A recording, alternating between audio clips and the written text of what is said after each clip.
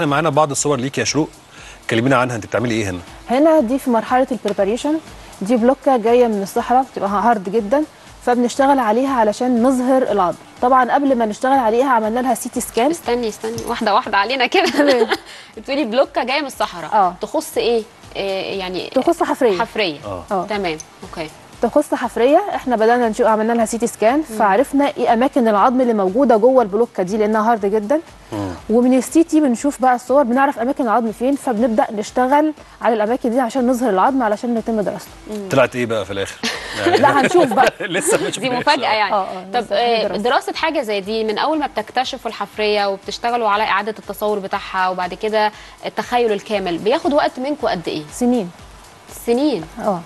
يعني حفرية اللي كنت بعملها preparation دي ممكن تطلع كمان سنتين ثلاثة تاخد سنين في الدراسه